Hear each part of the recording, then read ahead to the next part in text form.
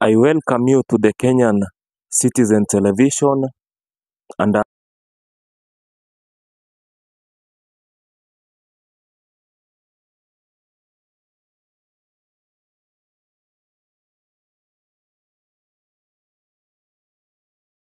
before we get more updates, uh, don't forget to subscribe.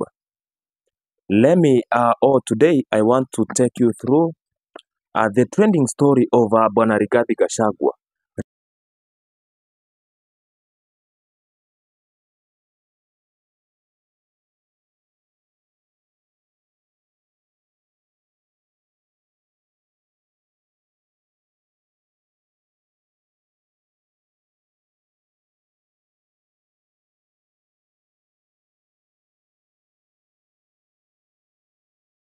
Remember, Bwana Rigathi Gachagua is a man who is now facing more oppositions.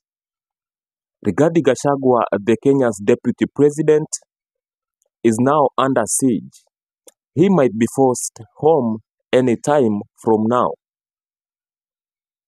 This comes after William Samoei Ruto's personal committee have now confirmed that by Tuesday next week, Tuesday next week, they are going to launch an impeachment motion uh, in the uh, National Assembly, which will be set before the Speaker of the National Assembly, uh, Moses Masika Wetangula, a man who had uh, closely uh, been working with uh, Raila Amolo Odinga in the past government.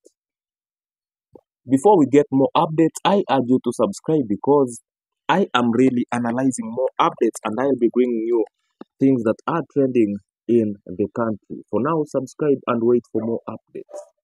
Thank you, thank you, and thank you very much.